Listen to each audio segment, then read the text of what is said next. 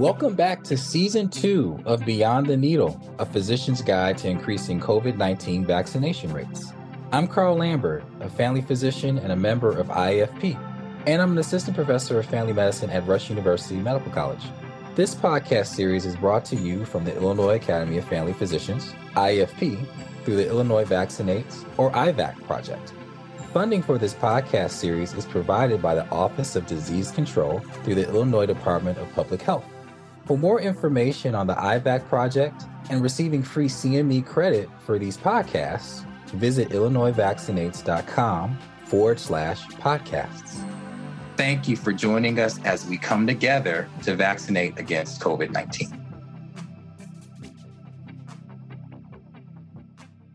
Hello, everyone, and welcome to another edition of Beyond the Needle. And today we're going to be talking about long COVID. We know that we have been hearing, and probably many of us have had patients who are experiencing long COVID symptoms. And so today we wanted to address that topic and get more information to help primary care physicians be more equipped to dealing with patients who present with long COVID symptoms.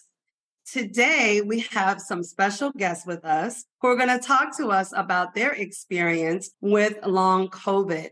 We have Dr. Heather Prendergast, who is a ER physician at University of Illinois at Chicago. And we also have Stephanie Labedz, who is a pulmonary and critical care physician also at the University of Illinois at Chicago. And I'm just going to give them a moment to just briefly introduce themselves. Dr. Prendergast. Hi, thank you so much, Dr. Wells, for being an opportunity to be a part of this podcast.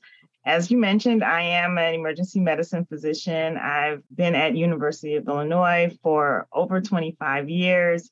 And as we are winding out of the pandemic, we are really now starting to see a lot more of these long COVID cases. So I'm really excited to be a part of the conversation today.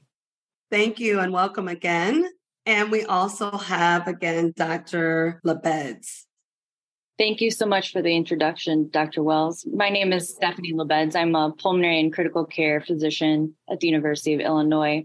I've been practicing for almost a decade now and have had sort of a unique experience in the pandemic of both being on the front lines in the ICU, taking care of patients who are critically ill with COVID 19, but also seeing sort of the aftermath of long COVID in my pulmonary practice. I've been taking care of patients now for over a year, almost two years with long COVID symptoms. So I've seen quite a bit of it in my time. So I'm pleased to be here to share my experience and insight. Wonderful. And I'm Dr. Christina Wells. I'm a family medicine physician at the University of Illinois at Chicago as well. And I practice at the Miles Square Health Center. And so we're going to jump right in to our discussion today on long COVID. And we're first going to start off with a definition of what is long COVID. Now we know that there is really no universal definition, but the Center for Disease Control and Prevention defines long COVID as symptoms persisting a minimum of four weeks after an individual has been infected.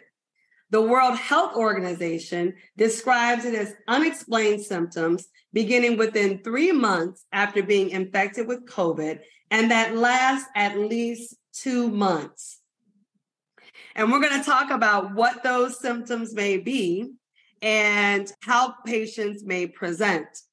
And so either Dr. Prendergast or Dr. Labedz, can you tell us a little bit about what has been your experience and how patients have presented with long COVID? I can uh, start with this. And because often, a lot of times, patients have no idea what is going on. They've had COVID, and in some cases, the symptoms have persisted.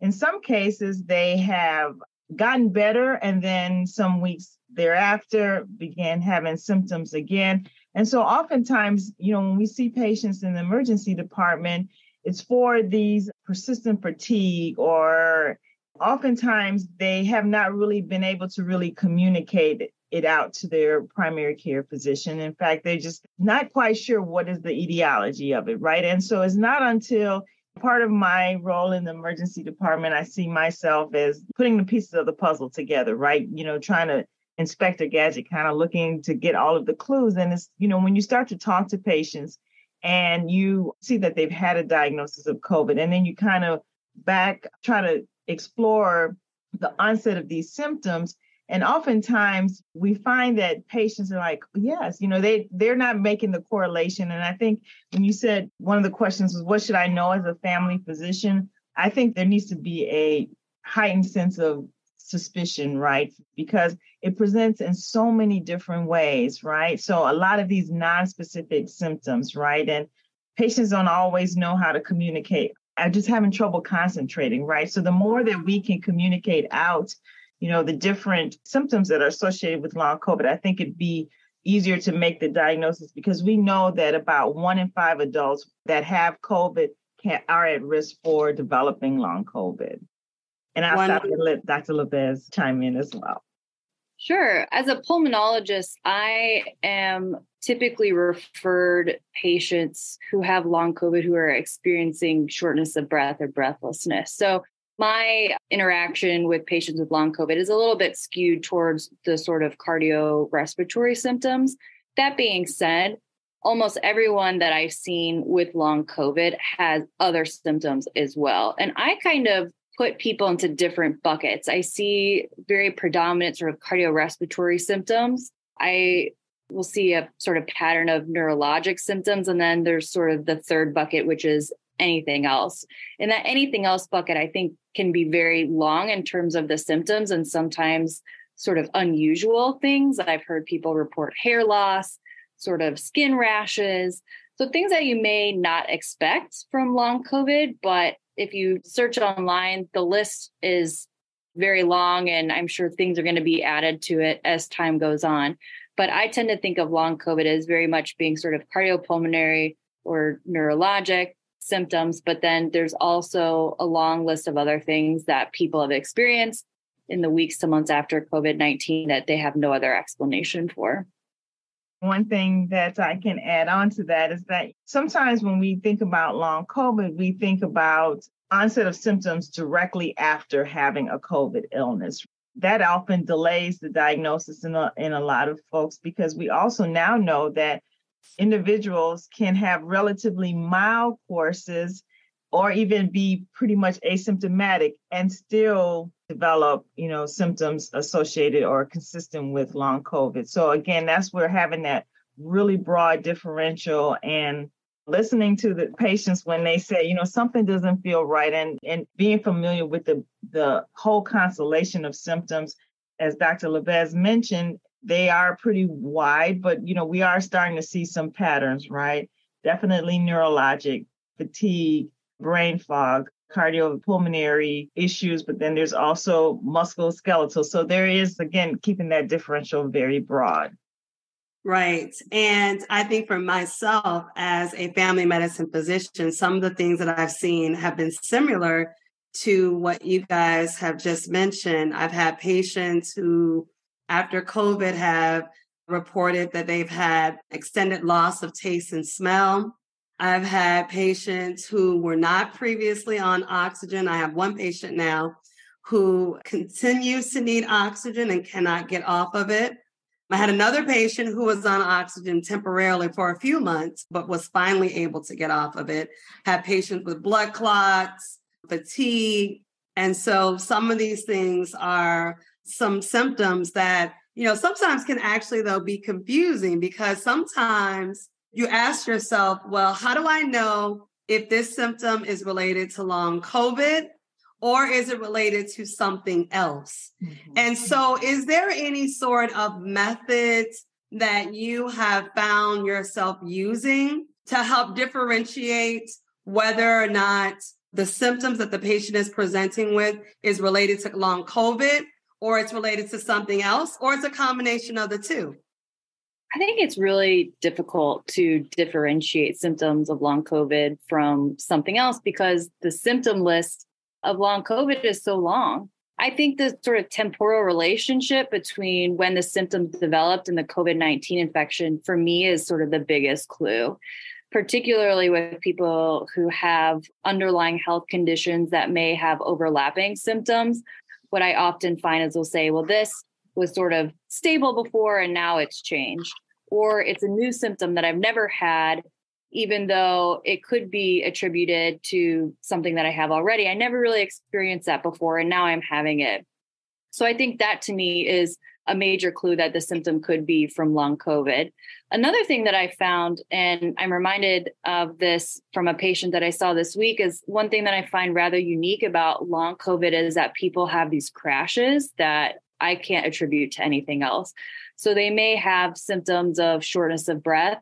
For example, might have something like asthma, and they're not really sure if their shortness of breath is from asthma. If they tell me that they're experiencing these episodes where they crash from exert, overexerting themselves in some sort of activity that would not lead to what I call a crash, and my sort of loose definition of a crash is if you can't get out of bed or off the couch for a day or two days that's pretty unique in my experience to long COVID. So if I'm seeing somebody who comes in and they have some condition that may have symptoms that overlap with long COVID, but they're also telling me, yeah, you know, I've been finding that I crash, I can't really get out of bed. That really makes me start to think this is long COVID because I think that's a rather unique aspect of the disease. Mm-hmm. It's interesting that you mentioned that because I was just reading about post exertional malaise which is a hallmark of long COVID. And it's a disabling condition where there's often delayed exhaustion that's disproportionate to the effort exerted. So, like you said, someone who can't get off the couch, you know, because they're just so exhausted, you know, from those simple activities. And so it's a very interesting phenomenon. Dr. Prendergast, have you noticed anything as well?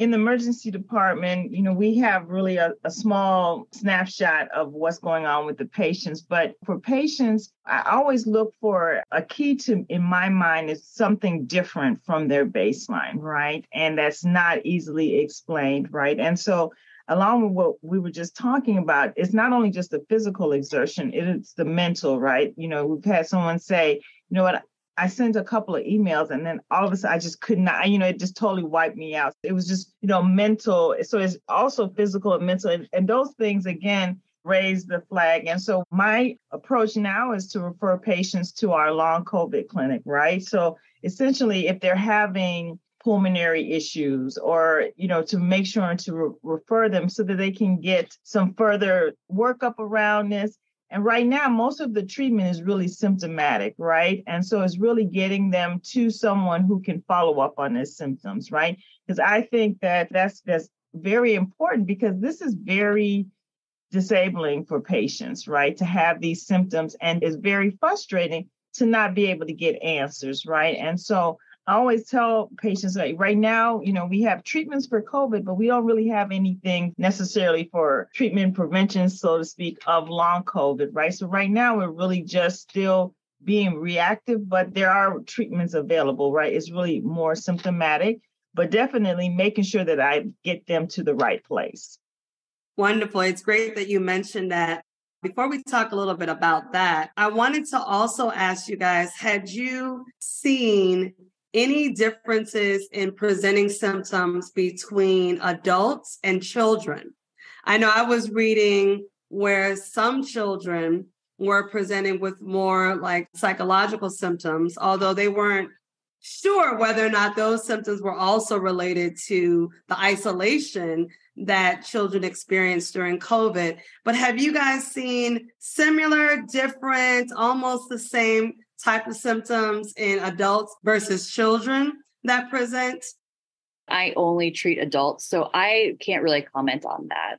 I have not really seen a lot of these symptoms in our pediatric patients, right? Definitely we see it a lot in the adult population, but I can't say that I've referred any children to our long COVID clinic or had any real suspicion of that in our pediatric patients. I'm curious to know your experience, Dr. Wells, sort of contrasting the presentation in adults and children. even for myself as a family medicine physician, I haven't as well seen as many children. I can't even really think of a case of a child that I've seen with long COVID symptoms. Or maybe there may be, again, this is why we're doing this podcast, because maybe I have seen a child who has symptoms, but I haven't attributed those symptoms to long COVID. And so this is why this is important because maybe there are children who are presenting to us and they're having symptoms, but we're not really going back in that history and thinking about is this something that's related to long COVID or at least is COVID a contributing factor to these presenting symptoms? So I, I haven't seen either, but I think that this podcast will help us to be able to have our eyes open to be able to look for those symptoms when patients, in particular, when children present to the clinic. So, thinking about that, are there any sort of red flags or any things that family physicians you think should be looking for? And are there any sort of specific workups that we should be doing as family physicians when patients present to us and we think that they have symptoms that may be related to long COVID? That's a great question. And it's a question that I don't know the answer to. And I really struggle with in my practice how to work this up and what to do about it. I have searched and have not found really any agreed upon recommendations in terms of the workup for symptoms. And I know my colleagues who also see patients with long COVID and myself, you know, we tend to order very sort of routine testing for shortness of breath, things such as a chest x ray, in some instances, a CT scan of the chest. Pulmonary function testing is pretty standard. I often will order other tests depending on the symptoms that a patient reports to me, things like an EKG, an echocardiogram. I'll also go through if they were hospitalized or they've seen another physician look at their laboratory work and see if anything sort of stands out to me that could be followed up. So I think these are pretty routine tests that I would imagine many family physicians are also ordering for their patients. There are some circumstances where I may go as far as ordering a cardiopulmonary exercise test, depending on the degree of disability that the person's experiencing and the longevity of their symptoms, and if I'm finding anything else on any of their other testing. But if I'm being honest, most of the testing that I order for patients is totally normal, which is extremely frustrating for myself and the patient because I know that they're very distressed from their symptoms. They're oftentimes very disabled from their symptoms. And when the testing's negative, I can't really provide them any explanation as to what's going on with them. And so it's very frustrating and I think very invalidating sometimes for the patients because they want an answer Mm-hmm. And unfortunately, a lot of the testing that we can do is either not sensitive enough or we're not really on the right track at picking up what's going on with them. Yeah, and one thing that I would add to that, I agree, and my approach is quite similar in the emergency department in terms of obviously we want to make sure that within that symptom that there's not an acute life threat. And so I think that as a family physician, you still want to get these tests, right? If someone has shortness of breath, you want to make sure you want to get those standard tests. And although it is very dissatisfying, I agree. As physicians, we want to provide our patients with answers. We want to be able to help them with their conditions. And so, but then when when things come back negative, it sort of actually adds more weight to this person perhaps suffering from long COVID and then there's some additional options that are, are available to them. Obviously, symptomatic treatment. But then if this is really uh, becoming very disabling now, you know, we know that is now recognized by as a disability, right? And so if this is to the point where they are, it's it severely impacting their ability to, to live their life, whether it's just the basic ADLs, there's now some support that can can also come from that. So that's why I think it's is it is still important even though we want to give our patients answers if the tests come back negative then it actually helps to build a case and then one thing that I think that is important to do is really to proactively think about who is at risk for developing long COVID. And that list is growing, but it's not as long as it could be. And so there is still some tangible things that we could take away from that. So we know that individuals who have had more severe cases of COVID 19 are more likely at a higher risk of developing long COVID. Obviously, individuals with underlying health conditions are unvaccinated patients. There's a lot of data coming out now showing that there is really a tangible difference in that patients who are unvaccinated and do get contract the coronavirus do have a higher uh, likelihood or risk of developing long covid. And so these are just some of the things to kind of also keep in our in the back of our mind if we know this information and then it kind of helps us to also put the pieces of the puzzle together for our patients a little quicker Right. It was interesting you mentioned about vaccination. I was just reading in the Lancet where it showed that vaccination was associated with reduced odds or risk of long COVID, with the preliminary evidence suggesting that two doses were more effective than one dose. And so we know that studies are showing that patients who have been vaccinated with, especially as this study pointed out, with two doses at least, we're having less risk of getting long COVID.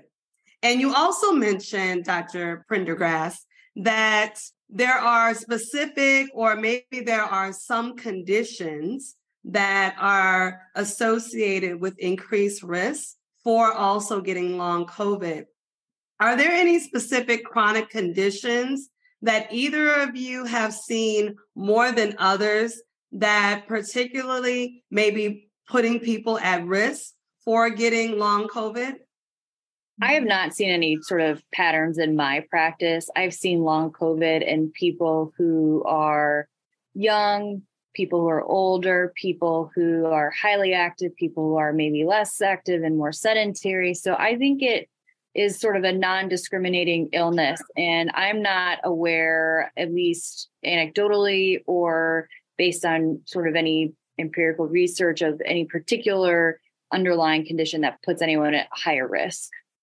And I, I, agree. I can't really say that I tend to see it in this particular constellation of individuals with a certain underlying condition, but I do know that the studies reported that patients who experience multi-system inflammatory syndrome during with their covid illness appear to have a higher risk of developing long covid but that's you know again with their actual covid infection so I can say definitely that at least that's been shown in the data, but I can't say that there's just one particular group that I've noticed because really it is actually all over the place. And it really, you just, the fact that they have underlying health conditions does put them, you know, can be a factor, but it's not the only factor because some people who have no underlying health conditions can also develop long COVID. So I want to make sure to communicate that out as well. Well, maybe this was another question too. Although we know that people without chronic conditions can develop long COVID, do you think that chronic conditions may worsen the symptoms of long COVID, exacerbate them, or maybe people just have to deal with now two chronic conditions and that just worsens their outcomes. That's really interesting. You know, I think that because the symptoms of long COVID are so varied, what you may see is that patients have an underlying condition that's a di- distinct disease process, but the end result might be a symptom that is the same as something with long COVID. For example, if you see somebody who has COPD, who at baseline is short of breath, and then they get COVID and their shortness of breath get worse, they may have a separate disease process from COPD that's caused by long COVID, but both are contributing to shortness of breath through different mechanisms. So I'm not sure that the COPD or some other underlying health condition in itself will make long COVID worse, but that they may have a separate sort of pathophysiology that's also contributing to sort of overlapping symptoms, but by a different mechanism. Right. You mentioned earlier about diagnostic testing, and I was reading a little, little bit about some of the similar things that you guys mentioned that most of the time there's nothing specific doing the basic laboratories or imaging tests that you would do um, in a patient who would present with whatever presenting symptoms they're coming in with. And so, really following similar protocols to what we do in our everyday practice is important. So, at what point do you think a family physician should consider referral to a specialist for a patient with long COVID?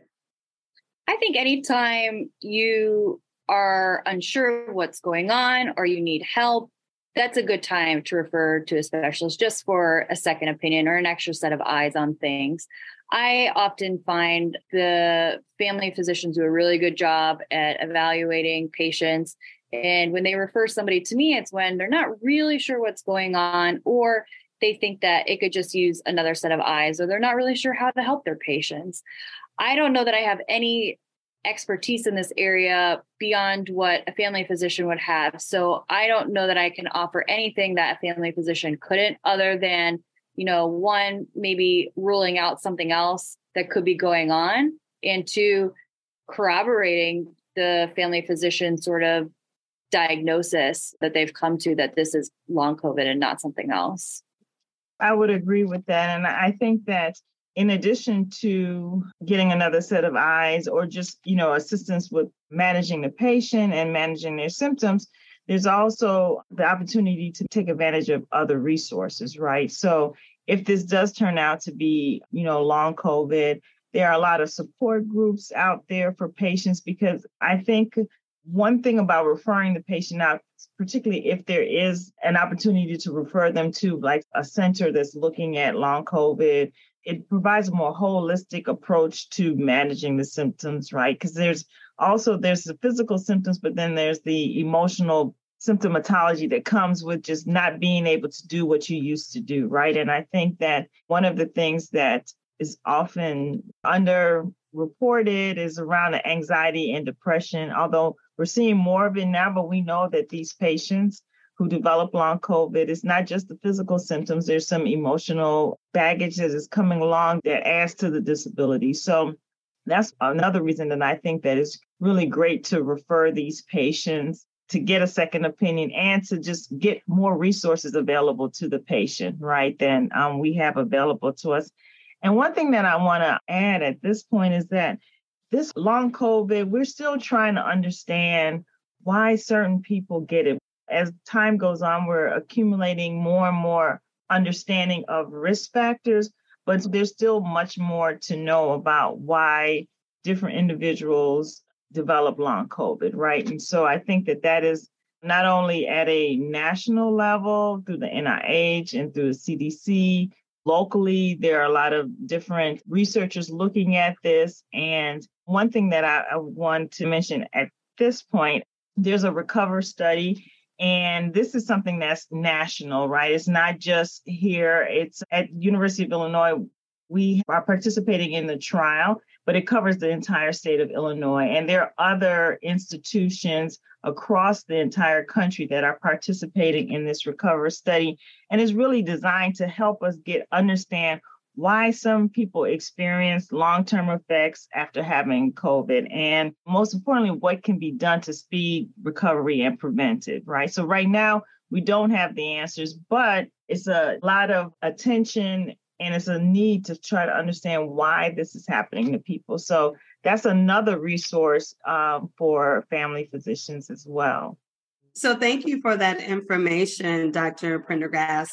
Can you please tell us a little bit about how a family physician could refer a patient to the Recover study? There's also a long COVID clinic at the University of Illinois. Can you tell us a little bit about how that clinic works? Right. And so what we do actually depends on the patient's symptomatology, right? So we have physicians such as Dr. Labedz that would, if we have a patient that's having shortness of breath, right? And we suspect based on their history and that this may be long COVID, they we can refer them for follow-up with her as part of the long COVID clinic. And so this way it allows us to kind of tailor. So if someone is having neurologic symptoms, it's more we're able to refer to a neurologist who is seeing patients as part of this long COVID clinic. This way, it, it allows us to cast a wider net and provide more options for patients in managing some of these symptoms. Um, regarding the Recover study, if you're in Illinois, we have a website, but if you just go and do a simple Google search, for a recover study, it will tell you all the sites and which one is near to you. And then there's um, contact information. And really, it's an observational study in that is really trying to understand, right? We're not giving patients medications, but it's really trying to understand and to direct patients to resources to kind of help them. Wonderful, wonderful. This has been so informative. As we wrap up here, I wonder if either of you have any closing comments that you think would be important for family physicians to know about long COVID. I would say what is really important to me, and I know the patients that I see, is for physicians to believe them. I've heard many, many times patients tell me that they feel like they're going crazy. They don't know what's wrong with them. They look normal on the outside, Every test that they get is normal, but they are sick and they're experiencing often very distressing and disabling symptoms. And I know that a lot of times people are written off and they feel that they're not believed when they go to their doctor and say, Listen, I have been experiencing this and I don't know what's wrong with me. And it can be very invalidating and discouraging to them. And so I think the most important thing is just to believe them. Even though we can't find something objectively wrong, doesn't mean that there's not something going on. I think one of my big takeaways from this pandemic and my experience treating patients with long COVID is to be um, much more empathetic for these sort of silent or diseases that you can't find anything wrong and you can't see something wrong, but they're still sick.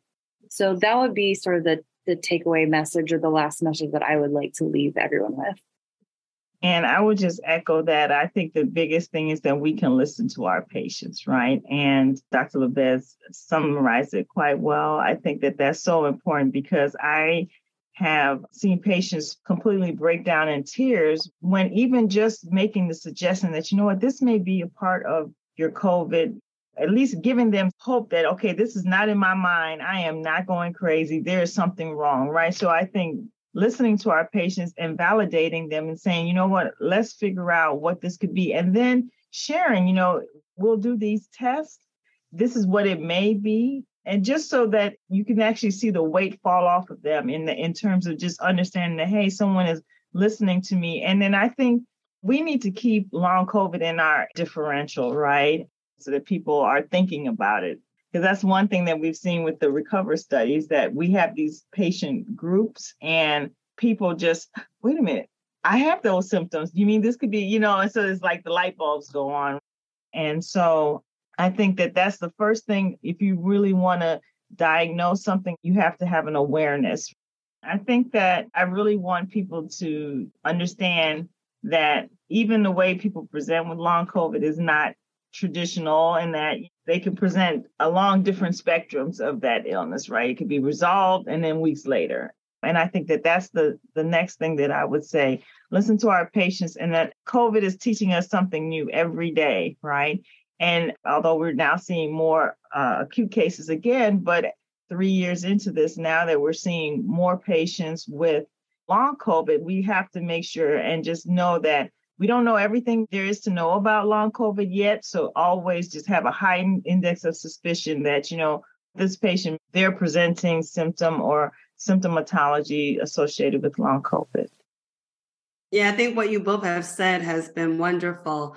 I think that we have to help patients to understand that we don't know everything, you know, and this is a work in progress, but we can listen, provide support, and do the best that we can. And I think that is the best position for us to be in as physicians to really help our patients to be able to get through things such as long COVID. I thank you both, Dr. Prendergast and Dr. Labedz, for being with us today. This was a wonderful opportunity to discuss long COVID, and we hope to have you back on another episode. Thank you. Thank you so much. Thank you for having me. This was a pleasure.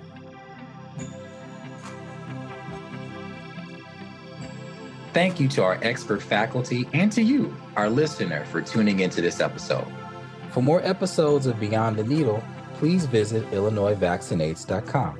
Here you'll also find links to an online toolkit, how to join learning collaboratives and boot camps, podcast transcripts, speaker disclosures, and instructions to claim CME credit. Subscribe to Beyond the Needle on your favorite streaming platform.